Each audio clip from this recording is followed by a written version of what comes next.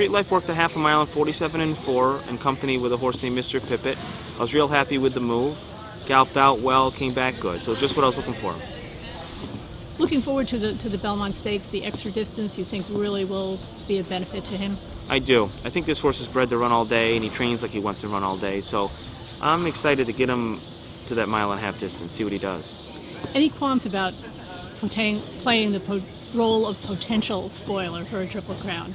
Not really. I mean, I'm a racing fan, so of course I'd like to see a Triple Crown winner. But you know, nine years ago when I worked for for Bobby Frankel, we're in the same position, and I, I saw him stop Funny Cide with Empire Maker, and it wasn't a real popular win, but he he had a plan to win that race, and I'm just trying to follow the same pattern.